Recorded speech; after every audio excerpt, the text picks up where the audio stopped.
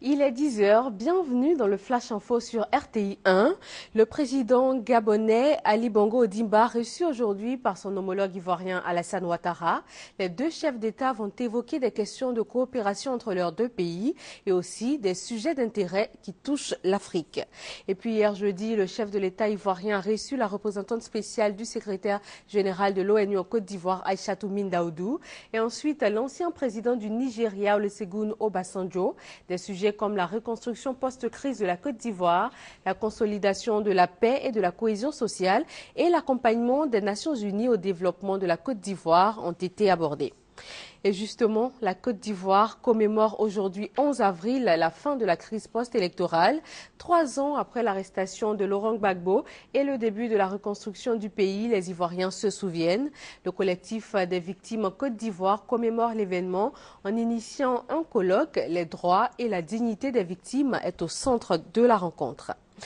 Mettre en place un transport maritime commun régulier du fret et des passagers en Afrique de l'Ouest et centrale, c'est l'ambition commune d'une banque du Nigeria et d'une entreprise de transport logistique basée au Cameroun.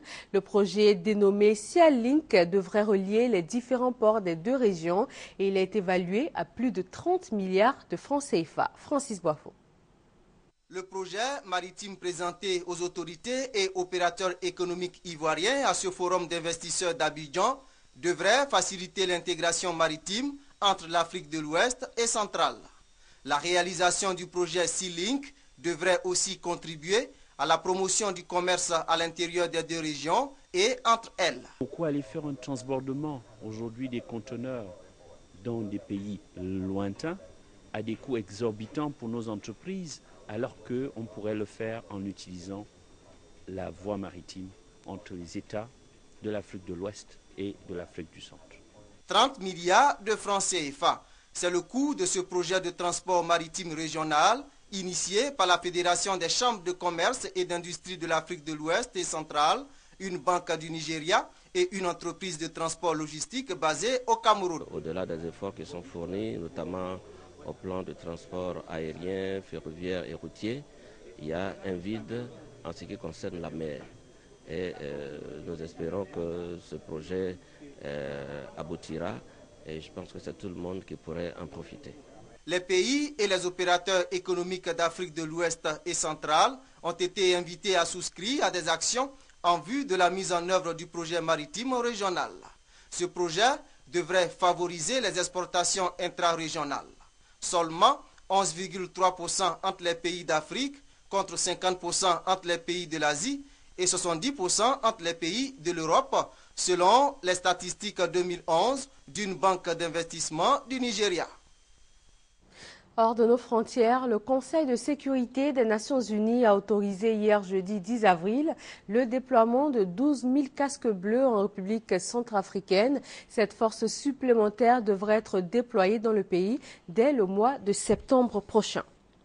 Et c'est une première en Égypte. L'Union européenne va superviser l'élection présidentielle prévue en mai.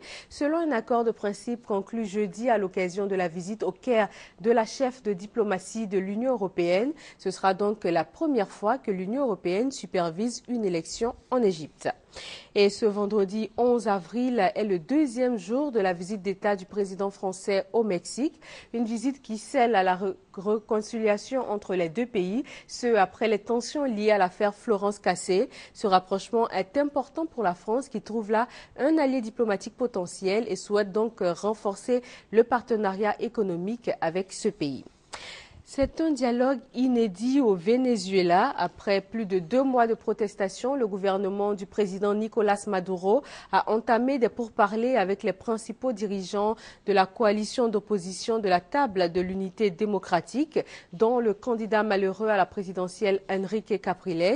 Arraché par l'Union des nations sud-américaines, cette démarche vise à mettre un terme à plus de deux mois de manifestants d'étudiants et d'opposition contre l'insécurité, la vie l'inflation et aussi la répression policière dans ce pays disposant des plus importantes réserves pétrolières au monde. C'est la fin de ce bref point de l'actualité, le journal à 13h sur RTI1.